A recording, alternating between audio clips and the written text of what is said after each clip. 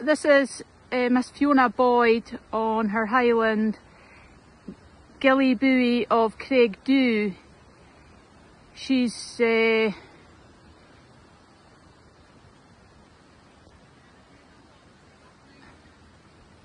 the test that she's doing is a prelim, sorry, it's an intro,